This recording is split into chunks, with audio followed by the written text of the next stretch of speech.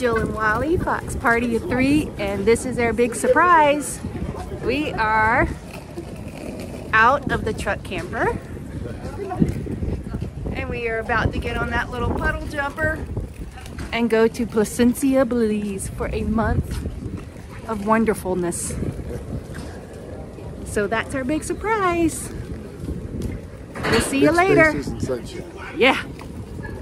We'll see you later. Thanks for joining us. See that road. Bye.